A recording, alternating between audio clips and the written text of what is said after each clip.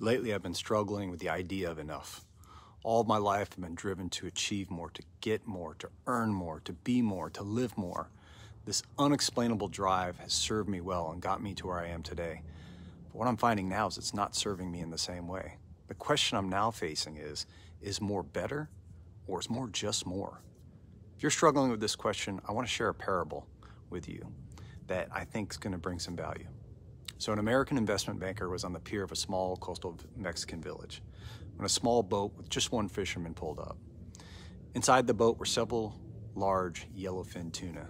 The American complimented the Mexican on the quality of his fish and asked how long it took him to catch them. The Mexican replied, Only took a little while. Then the American asked why he didn't stay out longer and catch more fish. The Mexican said he had enough to support his family's immediate needs. The American then asked, But what do you do with the rest of your time? The fisherman said, I sleep late. I fish a little. I play with my children.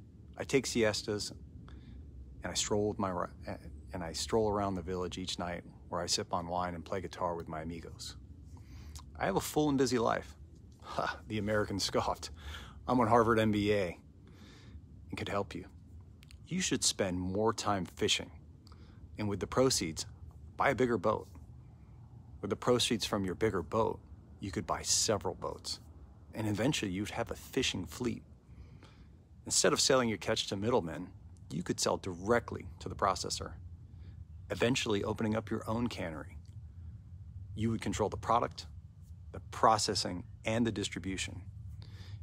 But you'd need to leave this coastal village and you'd need to move to Mexico City and then to Los Angeles and eventually New York, where you'd be running your expanding enterprise. The Mexican fisherman asked, But how long will this take? And the American replied, uh, 15 or 20 years. But what then? asked the Mexican. The American laughed and said, That's the best part. When the time is right, you would announce an IPO and sell your company stock to the public and become very rich. You would make millions.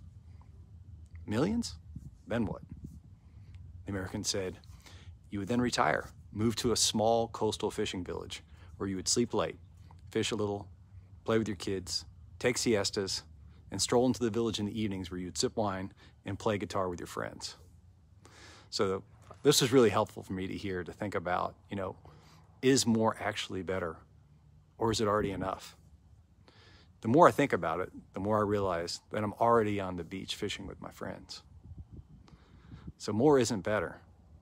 Perhaps better is better.